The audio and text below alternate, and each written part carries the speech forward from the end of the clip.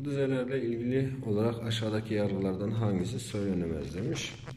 İsimden türemiş fiil vardır. Aktan ağarmak olmuş. Doğrudur. Belirtme hal eki almış. Seni derken iyi belirtme durum ekidir.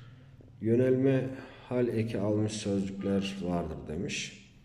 Hale derken var.